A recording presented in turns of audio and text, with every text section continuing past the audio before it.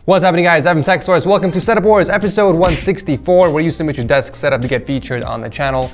You guys know what to do. If you want to participate, make sure to watch the video link down below. But with that said, let the Setup Wars begin.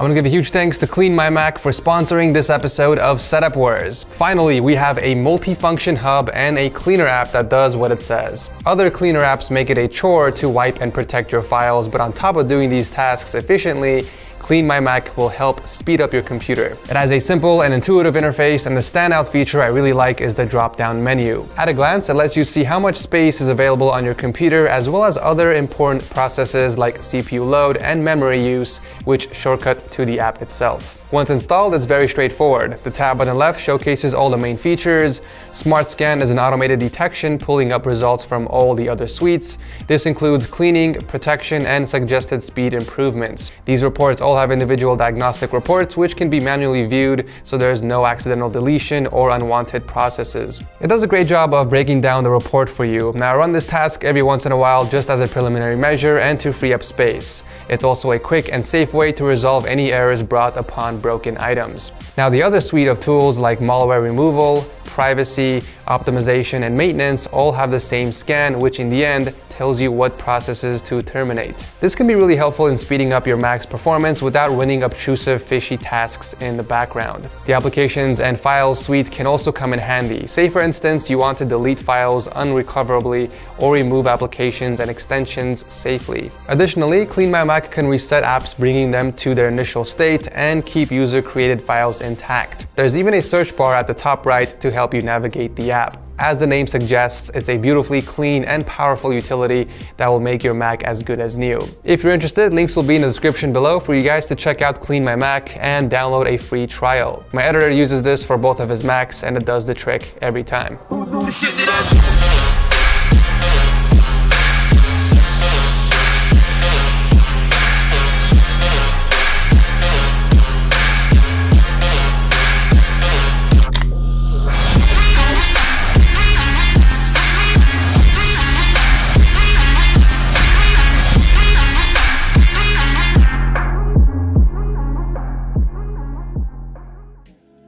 Okay, is it me or did Adrian just walk into someone's home?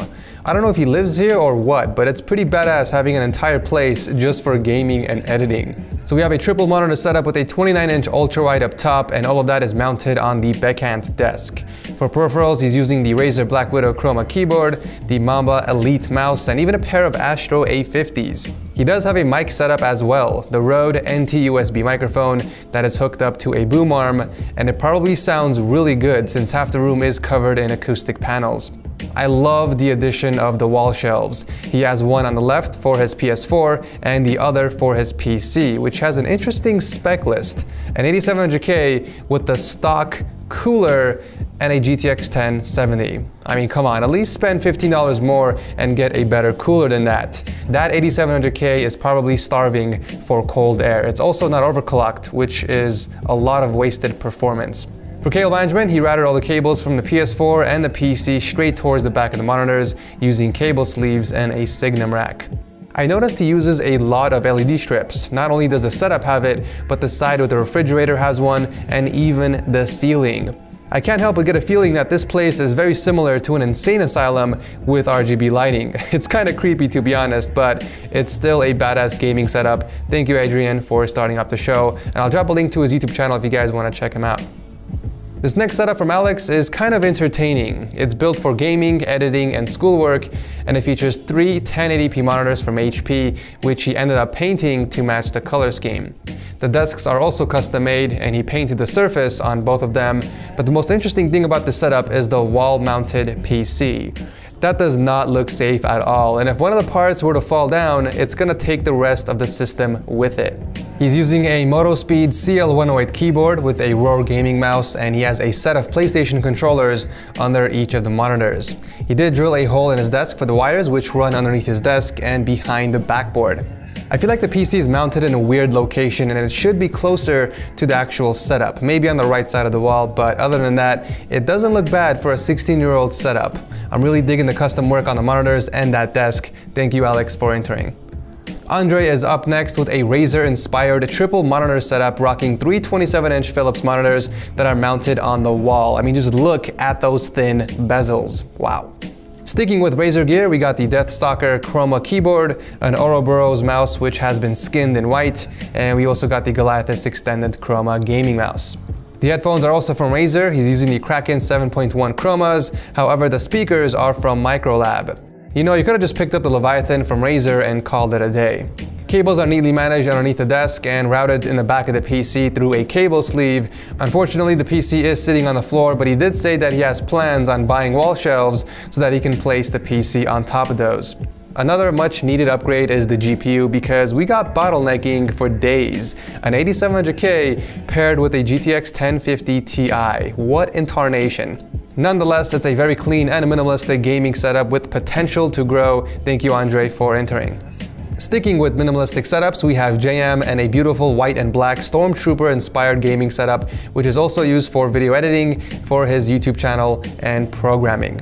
He's rocking a 24-inch Asus monitor, the Razer Black Widow X Mercury keyboard, and the Lancehead Mercury gaming mouse. Excellent choices on the peripherals.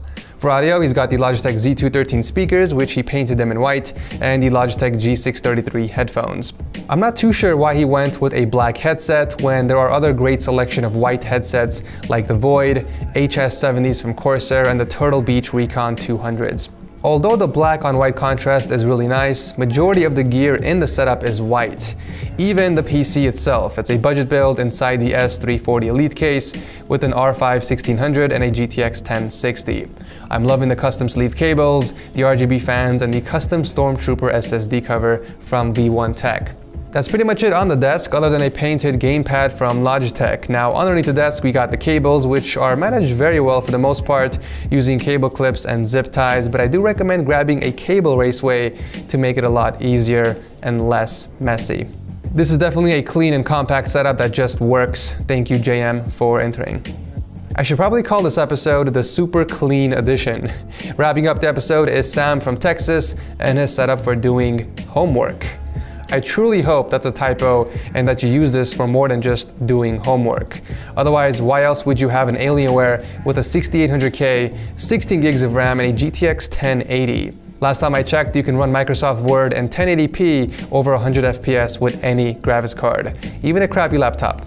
Anyways, back to the setup. So he's using the IKEA Malm desk to support the 34-inch ultra-wide gaming monitor and a few other things like the K70 keyboard, M65 Pro mouse, and the Corsair MM800 RGB mousepad. I would personally route the mousepad wire towards the keyboard and tie them together using a zip tie or something so that there's only one cable going across the desk. It will look a lot cleaner. For audio, he's rocking the Audioengine A5 Plus speakers, and very similar to the first setup, Sam also has wall shelves mounted next to his setup. However, it's to hold different things. His alarm clock and Solo 3 wireless headphones. Really? Is it me or are those wall shelves kind of overkill for what they're holding? I think he originally mounted them to hold up the speakers, but then realized they would look better on the actual desk without cables running down from there. I mean, if cables are what you were worried about, then you could have easily hid them using these white wall raceways. The cables underneath the desk are managed well, thanks mostly to the rack, but the rest of the wires are grouped together with zip ties, nicely done. I do have to say that I approve the use of a rim to hold up a PC instead of leaving it on the carpet. Hey, if it works, it works. This is a really clean setup, but I feel like something's missing, specifically that massive gap between the acoustic foams. It's really hard to ignore. Maybe you can add a poster or a painting of your favorite game or maybe anime to fill that gap and give the setup some more life. Thank you, Sam, for entering. And that's it for this episode of Setup Wars. Make sure you guys vote in the comment section below on who has the best desk setup. And if you guys enjoyed the show, feel free to drop a like. And if you didn't enjoy, you know what to do. Thanks so much for watching. As always, I will see you in the next one.